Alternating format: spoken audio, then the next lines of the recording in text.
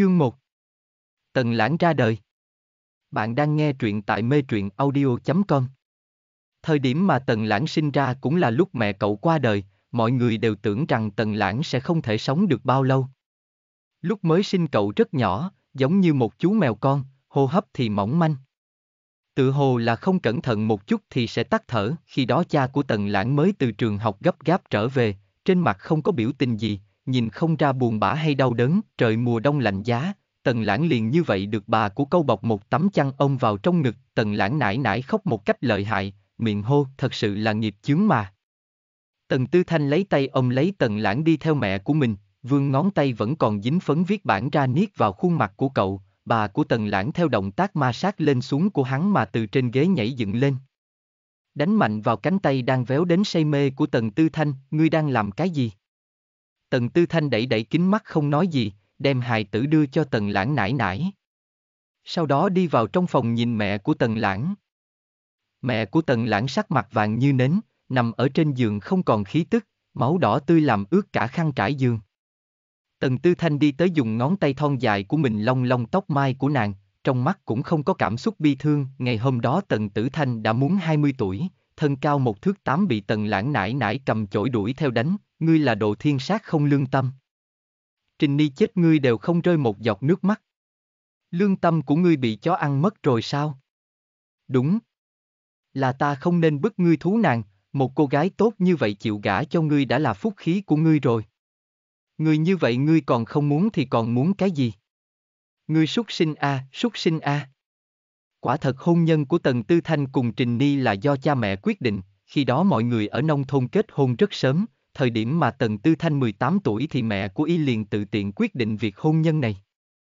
Lúc ban đầu Tần Tư Thanh không thể hiện rõ cảm xúc với chuyện kết hôn, nhưng dưới sự ép buộc của bà Tần Lãng, rốt cục cũng không biết như thế nào đáp ứng, Tần Tư Thanh cứ như thế quyết định thử một lần, không quá mấy tháng, bà Tần Lãng liền muốn Tần Tư Thanh đem Trình Ni thú về nhà. Trình Ni có một khuôn mặt xinh đẹp, tấm lòng thiện lương, bà Tần Lãng thích cô vô cùng. Tần Tư Thanh khi đó tuy đối Trình Ni không có cảm giác gì, nhưng lại do không có người trong lòng. Thêm mẫu thân một mật nháo, Tần Tư Thanh đành chấp nhận. Đến sau này liền như vậy phát sinh những chuyện hiện tại, Tần Lãng sinh ra, Trình Ni chết, điều kiện gia đình của Tần Tư Thanh ở thị trấn cũng tính là số một số hai, được đến trường sớm, còn ra nước ngoài học đại học.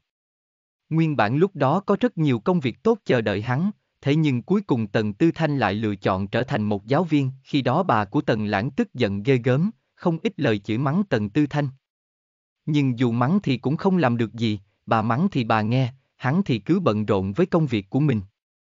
Liền cứ thế mà hoàn toàn không đem lời của Tần Lãng nải nải lọt vào lỗ tai dù chỉ nửa câu, việc Tần Lãng sống sót được coi như là kỳ tích. Nguyên nhân phần lớn là nhờ sự tỉ mỉ chăm sóc của bà cậu, một phen thỉ, đi ị, một phen tiểu, mỗi ngày bé đều được tần lãng nải nải phủng trong lòng bàn tay, chỉ sợ một chút không cẩn thận thì liền xảy ra chuyện gì sai sót, tần lãng nải nải rất hay lải nhải, gặp người khác liền nói tần tư thanh không tốt chỗ này không hiểu chuyện chỗ kia. Đứa nhỏ này vừa không có mẹ, cha thì lại không đau không cần. Mỗi lần trở về hắn cũng chỉ nhìn cậu một chút, đứa nhỏ này như thế nào lớn lên lại khó coi như vậy, một chút cũng không giống cha nó. Sau đó trở về phòng chỉnh sửa bài tập cho học sinh, lúc Tần Lãng lên một tuổi, khuôn mặt bé đã có ít nhiều thay đổi.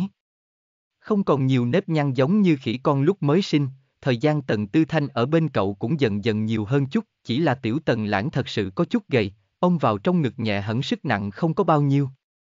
Tần Lãng nải nải cũng đã chăm cho cậu ăn rất nhiều, nhưng nề hà chính là vẫn không có nhiều thịt hơn so với trước. Tần Lãng mở miệng nói câu đầu tiên không phải nải nải cũng không phải mẹ, lại càng không là gia gia người luôn bận rộn rất ít có thời gian trở về. Mà chính là Tần Tư Thanh, dù chưa có người dạy câu kêu qua ba ba. Ngày đó Tần Tư Thanh trở về nhìn Tần Lãng, bé mặc quần áo kẻ sọc, trong tay cầm một cây kẹo lưng tự trên vách tường, một đôi mắt to đen lúng liếng nhìn Tần Tư Thanh. Bé trương miệng hắc hắc cười, miệng lưỡi không rõ kêu ba. Ba. Tần Tư Thanh ngay lúc đó đang cầm sách giáo khoa liền giật mình, cảm giác rất quỷ dị. Một bên bà của Tần Lãng đang bóc vỏ đậu phộng cũng vô cùng sửng sốt, sau khi phản ứng lại liền hoang thiên hỉ địa ôm Tần Lãng nựng nịu, hô cái gì, cháu ngoan a, tiểu bảo bối a, lời nói buồn nôn hề hề. Sau khi niềm vui sướng mãnh liệt qua đi, tần lãng nải nải nhíu nhíu mày nói. Như thế nào lời đầu tiên nói ra không phải là nải nải a?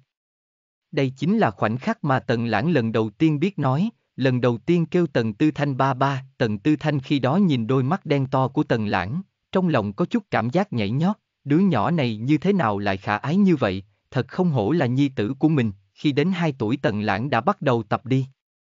Không biết vì nguyên nhân gì, cậu đặc biệt yêu thích kề cận tần tư thanh. Mỗi lần tần tư thanh buổi sáng đi đến trường dạy học, hoặc là từ trường học trở về. Cậu đều ngóng trông, nghiêng ngã lão đảo hướng tần tư thanh chạy tới, miệng kêu ba ba ba ba, lúc lên bốn tần lãng đã trưởng thành lên rất nhiều, trắng trắng mềm mềm, bỏ qua việc có điểm gầy một chút, thì đôi mắt to tròn đen bóng đặc biệt được mọi người yêu thích, khi tần lãng nải nải dẫn cậu ra ngoài, không ít người đều rất thích nựng nịu nhóc. Tần gia có một hảo tôn tử đáng yêu a, xem bộ dáng lớn lên kia. Thật là một đứa nhỏ ngoan ngoãn, làm người ta vui thích. Tần lãng nải nải thật sự có phúc phần a. Tần lãng nải nải trên mặt cười tủm tỉm, trong lòng ngọt tư tư, miễn bàn là đang rất cao hứng, tần lãng 4 tuổi tính cách cũng có chút thay đổi, bị tần lãng nải nải sủng đến có chút xấu tính. Nói cái gì thì chính là cái đó, muốn đồ chơi nào thì đều phải có cho bằng được, nếu như không theo ý nhóc thì nhóc liền nháo, nháo đến lông trời lỡ đất. Nháo thẳng cho đến khi tần tư thanh trở về mới có chút thu liễm, nhóc có vẻ phi thường sợ hãi tần tư thanh. Trong yêu có hận. Lúc tần tư thanh đối cậu vui vẻ liền rất rất tốt, còn lúc giận dữ thì so với nhân vật phản diện trên TV còn muốn xấu xa gấp nhiều nhiều lần. Đôi lúc còn cho Tần Lãng một trận giáo huấn ra trò, mỗi lần như vậy Tần Lãng cũng không khóc, hai tay giao nhau đặt ở sau lưng, cái miệng nhỏ xì xì phụng phịu, một đôi mắt to cuột cường trừng Tần Tư Thanh. Trong lòng không biết đem Tần Tư Thanh mắng bao nhiêu lần, Tần Tư Thanh mặt không chút thay đổi hỏi nhóc có biết sai hay không, nhưng Tần Lãng chính là không chịu mở miệng.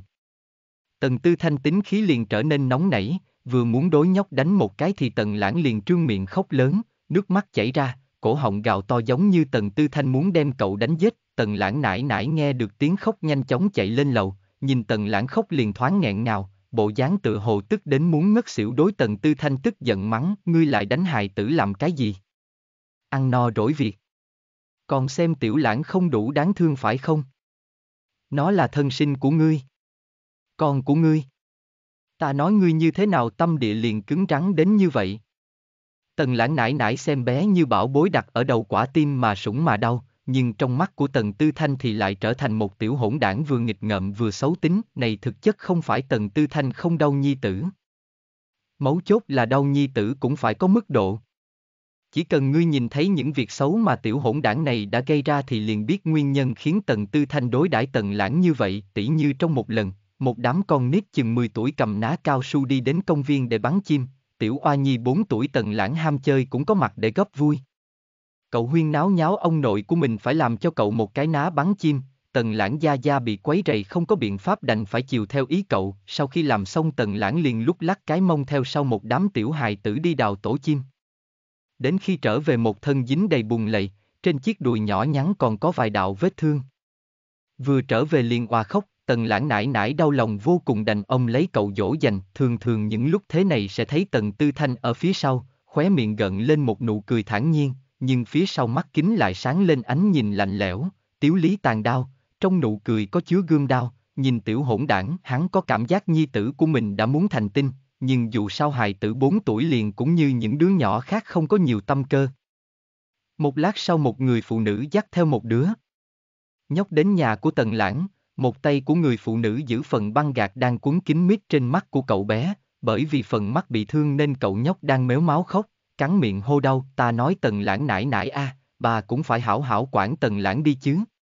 Bà nhìn xem, tần lãng nhà bà đem mắt của nhi tử nhà chúng tôi đánh thành cái dạng gì này. Lỡ như mù rồi thì xem các ngươi như thế nào phụ trách. Tần lãng nải nải vừa nghe như thế liền không bằng lòng. Tần lãng nhà tôi mới 4 tuổi, con hài tử nhà các người cũng phải 9 tuổi, một đứa nhỏ lớn như vậy tần lãng làm sao có thể bắt nạt nó được chứ? Tần lãng nãi nãi bà nói như vậy nghe sao được, cái gì kêu tần lãng mới 4 tuổi. Một đứa nhỏ 4 tuổi cũng có thể đem người khác đánh bị thương đó chứ. Bà nếu như không tin thì liền đi hỏi mấy đứa nhóc còn lại, chúng đều nhìn thấy hết. Sự thật là một đám thực tế không có đi bắt chim. Bạn nhỏ Tần Lãng là đứa nhỏ nhất bọn, nên lúc chơi trốn tìm thì không đuổi kịp mấy đứa còn lại. Vì thế bọn nó không muốn mang Tần Lãng theo nữa, nhưng Tần Lãng sao có thể chịu như vậy được, cứ như thế bạn nhỏ Tần Lãng liền bị kích động. Hai cánh tay nhỏ nhắn chống eo ngẩng đầu lên hung tận hướng về phía đứa nhóc cầm đầu nói. Các anh mà không mang theo tôi đi tôi liền nói cho ba ba của tôi, ba ba tôi chính là thầy giáo đó nha, tôi sẽ kêu ba ba đánh mí ngươi. Bắt mí người làm thật nhiều thật nhiều bài tập a. Một hài tử trong bọn nghe vậy liền cười nhạo nhóc, mày đi đi, mách ba mày đi. Ba ba mày là giáo viên trung học, làm sao có thể dạy tiểu học được. Chúng tao chính là không muốn cho mày theo nữa đó. Một thằng nhóc, thì đi theo làm cái gì, mau về nhà với ba mày mà chơi đi. Tần lãng nghe như thế liền nổi giận, ngao ngao kêu hai tiếng liền nhảy bổ vào tên nhóc vừa cười nhạo cậu, vừa cắn vừa đánh, mà cậu nhóc cũng là bị tần lãng làm đau nên mới phản đòn đánh trả, thằng nhóc bị đánh cũng không ngờ tiểu hầu tử tần lãng lại có khí lực lớn như vậy. Cậu nhóc đó liền cũng mất bình tĩnh, đem tần lãng đang treo trên người mình lôi ra, ném ngã xuống đất, tần lãng bị ngã đau, liền cầm lấy cái ná cũng với hòn đá bắn vào đối phương, kết quả là không cẩn thận liền bắn bị thương mắt của thằng nhóc, tuy rằng tiểu tần lãng 4 tuổi cũng không có bao nhiêu sức, nhưng dù sao cục đá vẫn là vật cứng, lúc mà hòn đá đập vào mắt của cậu nhóc, vì đau đớn nên tiểu hài tử liền nằm lăn quay ra đất kêu khóc. Tần lãng vừa thấy tình huống như vậy, cũng có chút sợ. Hải! Sợ tới mức đứng bất động, một thằng nhóc khác vội la lên. Tần lãng! Mày lại dám ném vào mắt của nó nếu như mù thì mày liền chết chắc. Tần lãng vừa nghe thế, sợ tới mức xoay người bỏ chạy về nhà, mọi chuyện cứ thế mà thành ra như hiện tại, tiếp theo đó chính là tần lãng nải nải cùng với mẹ của cậu nhóc tranh cãi một hồi, chết sống chính là không chịu thừa nhận tần lãng nhà bà làm sai, cuối cùng vẫn là tần tư thanh đem chuyện này giải quyết, thanh toán tiền thuốc men còn cho thêm một ít tiền bồi thường, lại mua một chút lễ vật đem tới tận cửa giải thích thì mọi chuyện mới dần qua đi. Còn có một lần khác tần lãng muốn đi bắt chuông. Chuông, giữa trưa mặt trời nắng chang chang, trên đầu tiểu lãng chỉ đội chiếc mũ nhỏ liền hướng hồ chạy tới. Khi nhìn thấy thật nhiều chuông chuông liền cao hứng nhảy dựng, nhưng lại vô ý trượt chân, ngã nhào vào hồ nước. May mắn lần đó có một vài đứa nhóc ra bờ hồ câu cá, thấy được cậu té xuống nước liền chạy tới đem tần lãng thiếu chút nữa đã chết đuối kéo lên bờ. Rồi vội vàng đưa về nhà tần lãng, lúc ấy tần lãng nải nải bị dọa đến sắc mặt trắng bệch, ông tần lãng khóc kêu trời kêu đất, thiếu chút nữa làm cho bà sợ đến mất nửa cái mạng. Gọi người cấp tần lãng sơ cứu, rồi lại đưa cậu đi bệnh viện khám mới làm cho bà yên tâm phần nào. Buổi tối tần tư thanh trở về, sau khi nghe tần lãng gia gia kể mọi chuyện, không nói hai lời liền đi tìm tần lãng, muốn hảo hảo giáo huấn cho cậu một trận nên thân. Tần lãng nãi nãi dự tính là không nói cho tần tư thanh chuyện này, với tính tình của tần tư thanh chắc chắn sẽ đem cháu của bà đánh tới chết. Cũng không nghĩ đến lão nhân kia lại đem mọi chuyện nói ra hết, bất quá cuối cùng tần tư thanh vẫn là không thể xuống tay, trước trận thế, một khóc hai nháo ba thắt cổ của tần lãng nãi nãi buộc lòng phải bỏ qua. Nghe trọn bộ tại mê truyện audio.com, link trực tiếp ở phần mô tả.